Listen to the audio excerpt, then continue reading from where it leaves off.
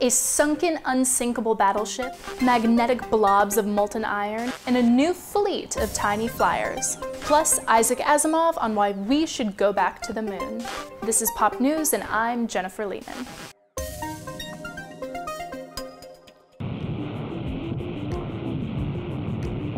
Two companies, Search Inc. and Ocean Infinity, have located the final resting place of the long-lost USS Nevada. The wreckage of the iconic battleship lies 65 nautical miles off the southwest coast of Hawaii, in water three miles deep. During the attack on Pearl Harbor, the USS Nevada was struck by an aerial torpedo and then later run aground in a nearby channel.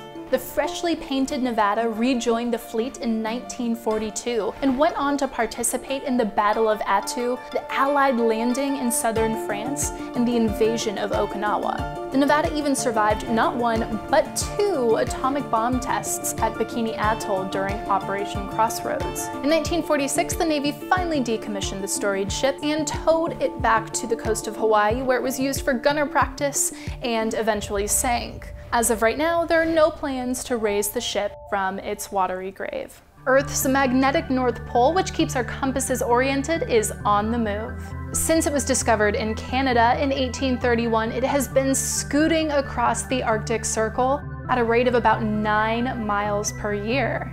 But now it's picked up the pace, zooming towards Siberia at a rate of up to 37 miles per year. That the magnetic poles are moving isn't exactly surprising. We know from geologic samples that they've moved before and even swapped places. What's really surprising here is the rate at which it's happening. A new paper published May 5th in Nature Geoscience suggests that two shifting blobs of molten magnetic material within Earth's liquid iron outer core may actually be to blame. Scientists studied 20 years of data from the European Space Agency's magnetic field detecting swarm satellites. They found that lobes of molten material, each beneath Canada and Siberia, have been engaging in a sort of magnetic tug of war. In recent years, the molten material beneath Canada has elongated and split, weakening the magnetic field above it. And so the magnetic North Pole has been slowly, well, actually quickly, inching its way over to Siberia, and it shows no signs of stopping yet.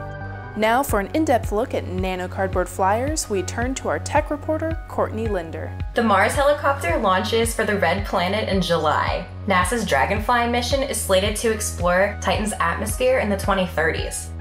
Researchers at the University of Pennsylvania have devised a brilliant new way for robots to fly around the Red Planet. The fleet of tiny nano cardboard flyers weigh only about as much as a fruit fly and are as thick as just a few strands of DNA. Scientists can actually levitate the motorless flyers using beams of light, shooting them skyward.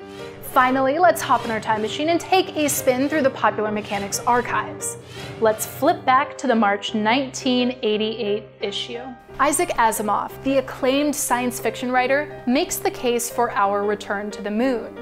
He wrote that in the future, moon-based particle accelerators could shed new light on the nature of matter, that nuclear and solar power stations could energize factories and scientific laboratories, that we could more easily send spacecraft out into the distant reaches of the solar system from lunar launch pads, Countries and companies are hastily drafting plans to carve up the moon's resources. Last year, China announced plans to establish a lunar research station near the moon's south pole by 2030. And of course, NASA aims to send the first woman and next man to the moon in the next four years.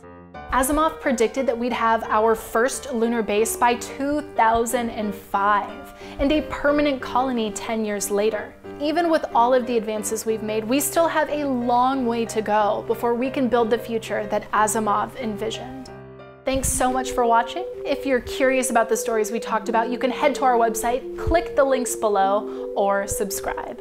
Science fiction writer, as far as I knew, ever dreamed that the first step on the moon would be visible on television.